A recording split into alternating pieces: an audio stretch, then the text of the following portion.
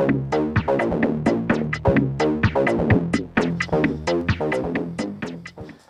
guys, look what I've got here.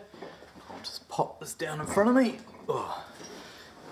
Who needs to go to the gym? So in front of me I have two chili bins or I think you call them eskies and not sure chillers, coolers in America. I have two chili bins in front of me and the reason for that is I have two lots of beer mail that have kindly been sent to me in the last couple of weeks. The first lot arrived from uh, Steve Bellward. Um, thank you very much Steve. Steve is based in Wellington. And I also, about a week later, received a second beer mail from Chris Gibson from No Quarter Brewing.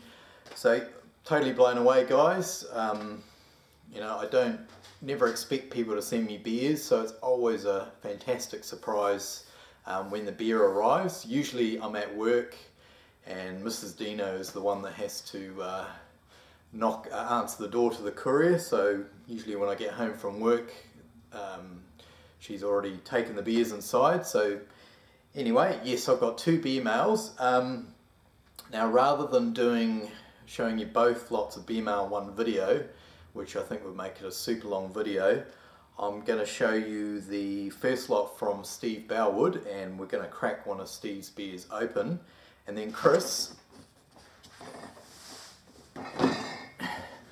I am going to do a separate video for your beers um, hopefully Thursday Friday of this week. So if you're watching um, I'll do a se separate video and we're going to crack into one of uh, Chris's beers so thank you very much guys let's dive into the beers that uh, Steve has kindly sent me um, just to let you know, they're a mixture of uh, beers that Steve has brewed himself, that Steve has brewed um, up with uh, alongside other members of the Barrel Club in Wellington.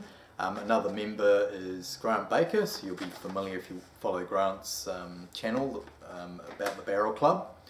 And also, I'm lucky enough to have um, a few of the 2014 SJ Pour beers um, that Steve has kindly sent back to me, or sent back to me, sent to me. So thank you very much for all of the beers that you've sent, Steve. I really do appreciate it and totally blown, blown away. It's like a dozen or so beers here. But luckily, Steve has included some notes. So thank you very much for that, Steve. Um, so yeah, let's dive in. I'm just going to pick up the beers in no particular order and we will go through them. Okay, so first up, we have a 2014 SJ Pour beer from four. It's called Four Corners Porter. Um, JO142NZ. No idea who brewed this up. Um, so if you know, just um, yeah, put a comment below. Clocking in at 7.4% ABV, 47 IBUs. So looking forward to that. I'm not. sure, Can't remember if I tried that in that year's challenge.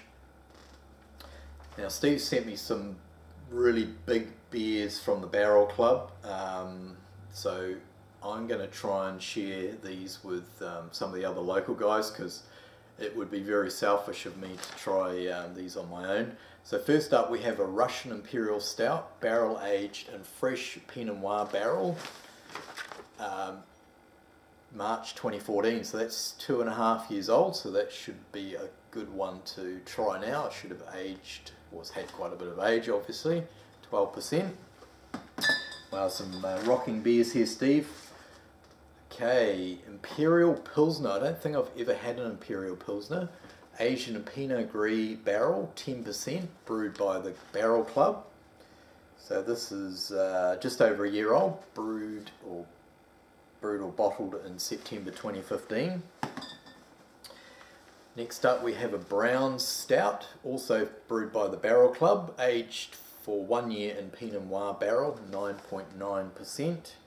This was brewed just a fraction over a year ago, aged in French oak. I've got a bit more information on each of the beers, but I think I'll um, just go into that when we when we try each each of them.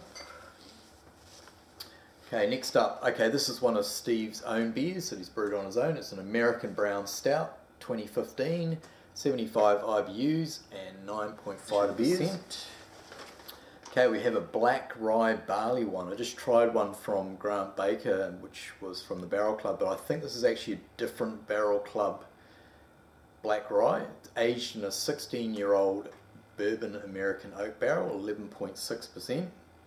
This one was done April this year, so that probably I'll hang on to that and age that up. Okay, a barley wine aged in a Pinot Noir barrel one year for one year, 13%. Also a barrel club beer.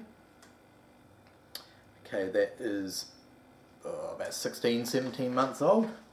Far out, some huge beers here. I've been lucky enough to sort of try one or two of these types of beers, barrel beers, but to get so many at one time is um, fantastic.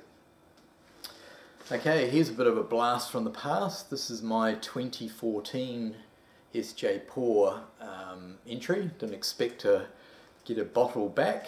Um, so yeah, not sure how that's going to hang, how how this is going to held up because it's only six percent. But we'll crack it open. If it's any good, I'll I'll do a video on it. So thank you for that, Steve.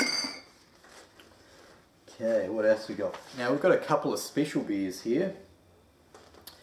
Um, in my hands, I don't know whether there's any other bottles surviving, I have the second and third place beers from the 2014 SJ Pour Challenge um, the, for the World Finals, in the World Finals. So yeah, Grant came second overall in the World Finals with his Baltic Porter clocking in at 8%. And I also have the Hidden Agenda beer, which I had had the pleasure of trying this um, when the challenge was actually on. Um, from Dan Philly. I put Dan's full name because there's no way in hell I'll be able to uh, pronounce it. And this is clocking in at 13%. So I just, so Dan came third.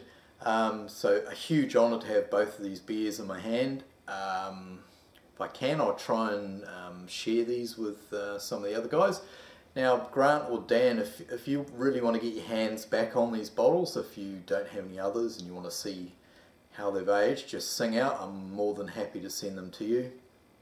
Um, so yeah, looking forward to those two bad boys. I think they would have aged up um, pretty well over two years. So thank you again, Steve, for sending those up.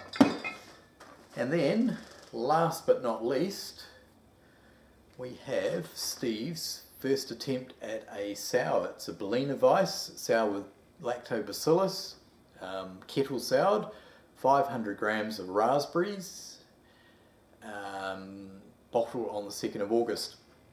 Now I was actually going to do a opening and tasting of, of this beer now, Steve, but the video is dragging on and I don't want people to miss out on this because it'll be at the tail end of the video. So I'm going to stop now guys, do a separate video for this put the beer down. It's come out of the fridge so it is cold.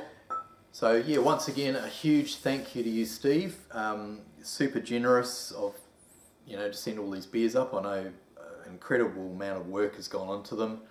Um, you know, especially those barrel aged beers. They take a lot of work and time and effort and not to mention money. So I do appreciate it. So I'll be doing separate videos. Might take me a while to get through them all but they will be forthcoming over probably the next uh, several months. So yeah, stay tuned for that. Thank you very much, Steve, and also a big thank you and shout out to uh, Chris Gibson. Um, if you're interested in seeing me crack this uh, Berliner with raspberries open, um, just have a look for a separate video. So we'll catch you shortly. Cheers, guys. Thanks, Steve. Thanks, Chris. We'll catch you soon. Cheers. Thank you.